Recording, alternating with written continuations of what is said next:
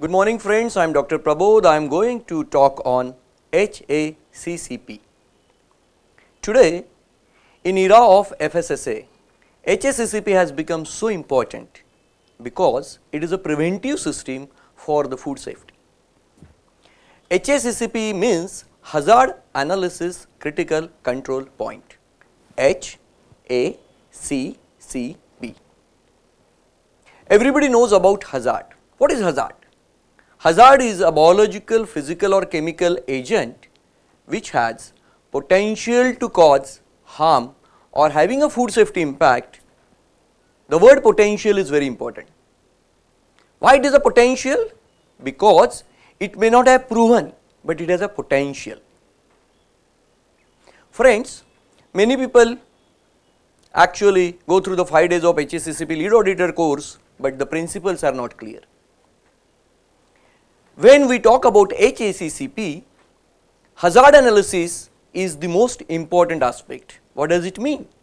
You have to analyze which hazard. After that, you have to find out the CCP which is a critical control point and control the that CCP. What is CCP? CCP is critical control point if the measures are taken, if the controls are empowered on that point, the safety issues or hazard can be eliminated or reduced. HACCP was introduced first time in 1959 by Pillsbury when the food was going to NASA. 1969 first time the Codex adopted the principle of HACCP. After that 1995 the first industrial use of HACCP was used or the standard was framed. After that many other certifications came on basis of HACCP like ISO 22000, FSSC 22000 and many more. I will give the example of day to day life. Most of us are aware about the milk spoilage. Milk you take as a commodity.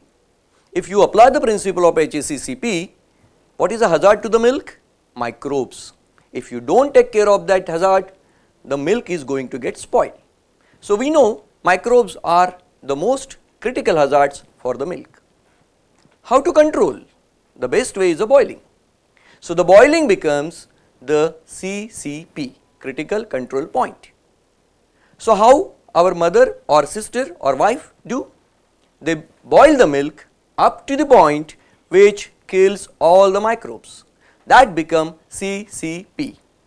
If you do not boil the milk up to that point, then milk may get spoiled and it will have a hazard or health issues on the consumer. So, what are the two steps are which are important? Identification of the hazard and control points, how to monitor that control points and if something goes wrong, how to correct there are two myths about HACCP. HACCP is about food safety. It is not a quality tool to improve the quality of the product.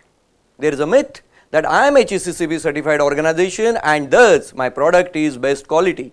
No, quality may be one of the outcome of HACCP. Second thing, it is a preventive system. It cannot work as a corrective. Once the milk is spoiled, no HACCP can correct the milk, spoiled milk back to the good milk. The third HACCP system is all about a habit, a preventive tool for food safety management. So friends, I hope I could clear your doubts about HACCP and next time we will come back with some more good product. Thank you.